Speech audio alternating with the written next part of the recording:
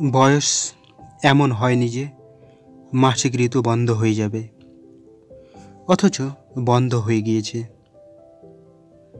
অথবা নামমাত্র হচ্ছে। এক্ষেত্রে পাকা পেঁপের পাঁচ থেকে ছয়টি বীজ চূর্ণ, প্রতিদিন সকালে আর বিকালে দুইবার জলসহ খেতে হয়। এটা কয়েকদিন খেলেই মাসিক স্বাভাবিক হবে। তবে টিউমার বা অন্য কোনো কারণে এটা হয়ে থাকলে চিকিৎসকের পরামর্শ নেওয়া দরকার।